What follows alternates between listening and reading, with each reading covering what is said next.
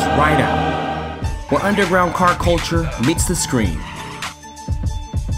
This is a car show for the new generation. We're all about good cars, You gotta be quick on the steering wheel when it does that.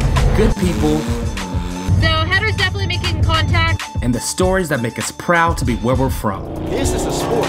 It's for real. like to be cute, but we still get dirty.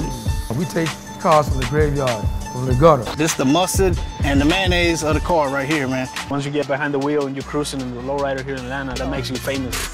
and get the rims off the Cadillac and put it on the cutters. Music, culture, family, and of course, cars. Let's bring everybody together. When they have destroyed the tires. The cities that shape us, the machines that make us, and the obsession that consumes us. We do it from youngsters to grown ass men. This is Ride Out. Let's ride.